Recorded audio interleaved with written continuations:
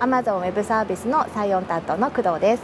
あのいろんなパターンが想定されるかなと思うんですけれどもまずはご自身がどのポジションに応募していいかわからないという場合は採用ページの中にオープンポジションという募集要項があるのでそこから書類を提出いただければと思います。採用担当チームの方でご経歴にマッチするポジションがありましたら担当リクルーターからご連絡を差し上げています。たどこか特定のポジションに応募された際にも各リクルーターが見てこちらの方がおすすめだよっていう場合はそちらに関しても改めてご連絡を差し上げています。私は産休育休ともに2回ずつ取っているんですけれども1人目を妊娠中は本当にやっぱり不安でした実際に戻ってきてきちっとできるんだろうか仕事ができるんだろうかっていう不安はあったんですけれども本当に周りの皆さんがですねあのいい意味でその子供がいるからとか何だか何々だからっていうステータス、まあ、レッテルを貼ることなく私自身として見てくれていたので非常にあの仕事をしやすかったです。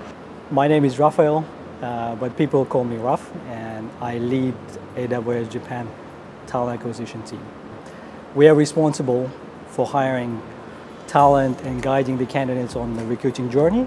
and subsequently, we allow the organization to grow with us. We're looking for someone who's unique and peculiar, somebody who brings something to the team that uh, the team doesn't have it.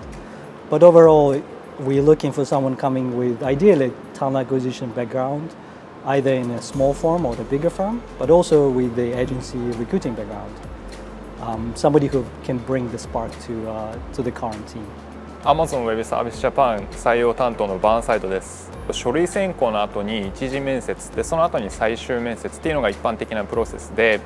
最終面接の時に複数人の方と1対1でお話しいただくっていうのが一般的な形式になってます。最終面接の中では、えー、プレゼンテーションであったりホワイトボーディングを活用した技術面接っていうのがポジションによっては含まれる場合があります。AWS では行動面接っていうスタイルを取り入れているのでぜひ皆様の功績っていうのをお聞きしたいので Our Leadership Principle 16項目と照らし合わせながらしっかりとご自身のご経験を振り返っていただいてサクセスストーリーをいくつかご準備いただきたいなっていうふうに思います。